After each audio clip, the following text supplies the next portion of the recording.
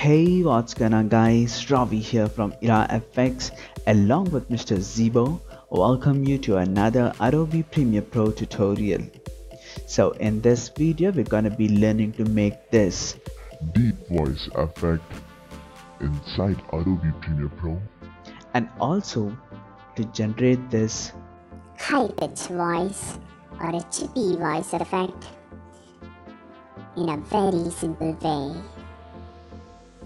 So without any delay, let's get started.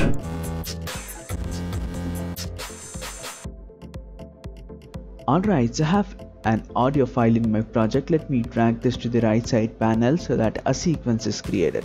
So this is a test voice and um, this is what it has got. Let me play this. This is a test voice that we'll be using to demonstrate the pitch shifter effect.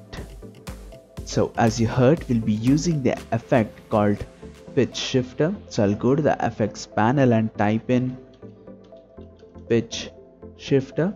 So I'll drag this pitch shifter effect from the audio effects and drag this onto my audio layer just like this. Once that this is done, I'll go to the effect controls and you can see that this pitch shifter effect is added and I'll go to the custom setup and edit this out so you can see that we have semitones and cents here. We can tweak either one of the values here so that we get the chippy voice or a deep voice. So I'll drag this slider to a value closer to 8 or 10 and if I start playing the audio this is how it's gonna hear like. This is a test voice that we'll be using to demonstrate the pitch shifter effect.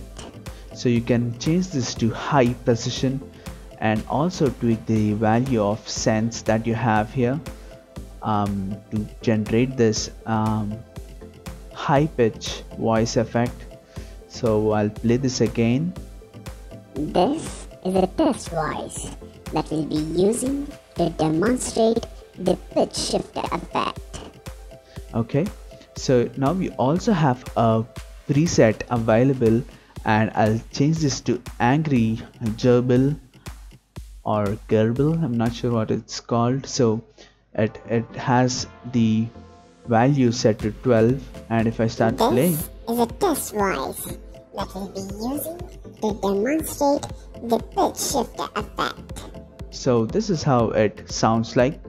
And in order to generate the deep voice effect you'll have to change the value in such a way that it is around negative 7 or 6 I'll set this to default and change this to negative 6 and if I start playing this this is how it sounds. This is a test voice that we'll be using to demonstrate the pitch shifter effect. So you can see that this is sounding like a movie trailer voice with uh, you know some deep deep bass effect applied to it. This is a test voice that we'll be using to demonstrate the pitch shifter effect. alright so you have um, a preset called the dark lord.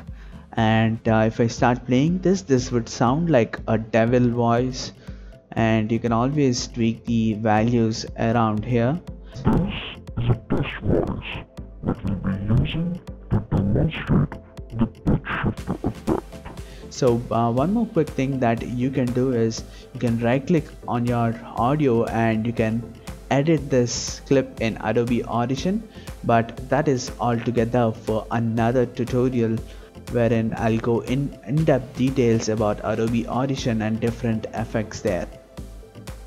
I hope you liked this video and if that's the case give us a thumbs up and if you'd like to talk with me regarding visual effects and video editing you can always reach out to me on Instagram at VFXGuyRavi. Mr. Zebo, would you like to add something? Subscribe for more tutorials. Alright, so see you guys next time with another tutorial